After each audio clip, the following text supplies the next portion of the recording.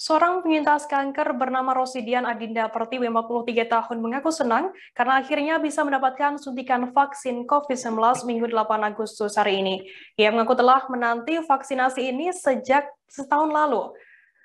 Saat ini dirinya telah melaksanakan operasi kanker payudara semenjak tahun lalu dan berkeinginan untuk mengikuti vaksinasi ini. Menurut Rosidian, penyintas kanker perlu adanya perlindungan yang lebih. Persiapan khusus yang ia lakukan tidak ada, ia hanya memiliki keyakinan agar ke depannya bisa sehat, begitu juga dengan rasa takut. Ia tak memiliki rasa takut karena vaksinasi COVID-19 ini telah dinantikan oleh dirinya. Terkait informasi mengenai vaksinasi untuk penyintas kanker, saat ini saya sudah tersambung dengan jurnalis dari wartakotalif.com, ada Ikhwana Mutuahmiko yang akan memberikan laporannya. Selamat sore Ikhwana. Halo Ikhwana. Eh, Ikhwana bisa di, uh, dijelaskan di mana uh, lokasi kegiatan vaksinasi khusus penyintas kanker ini berlangsung?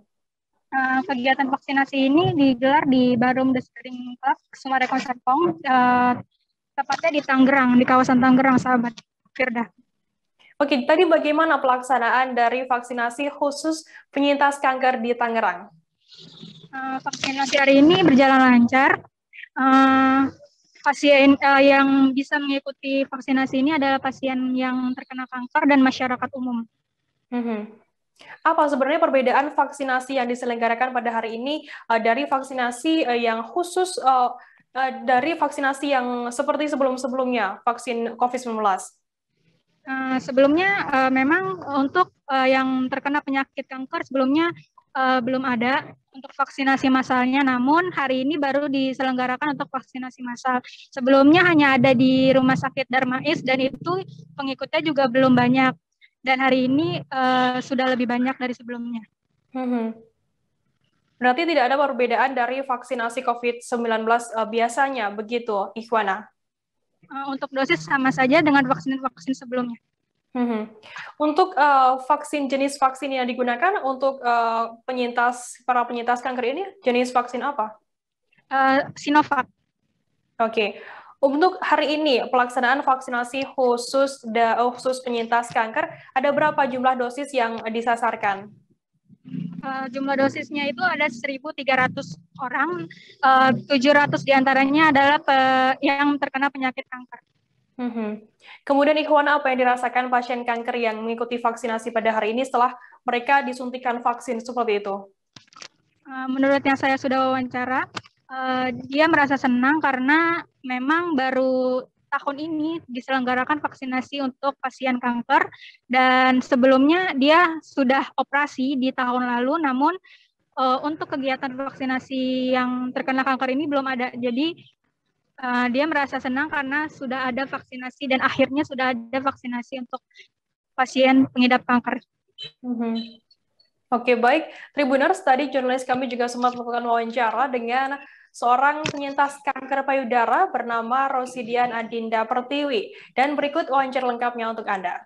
Dan saya uh, kanker payudara tahun kemarin sudah dioperasi dan rekonstruksi menunggu oh, vaksin yang untuk penderita kanker seperti saya dari tahun kemarin kita masih oh, bagaimana gitu kan? Karena orang-orang seperti kita juga perlu perlindungan yang lebih.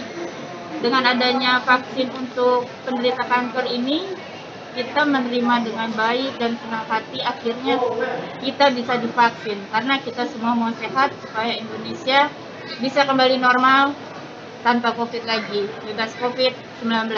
Ayo vaksin. Tadi kata dokter bagaimana? Ada misalnya waktu ibu nyapain ada komorbid ini, tapi kata dokter Ya, kata dokter uh, untuk penderita kanker memang banyak pertanyaan karena apakah aman, apakah nanti uh, efeknya bagaimana, tapi dokternya sudah jelaskan bahwa uh, ini memang aman untuk penderita kanker ada persiapan khusus tidak saat ingin melakukan vaksinasi ini? Mengingatkan ibu sebagai komorbid. Persiapan khusus sih enggak sih. Kita uh, yakin aja karena kan kita semua pasti mau sehat. Itu aja.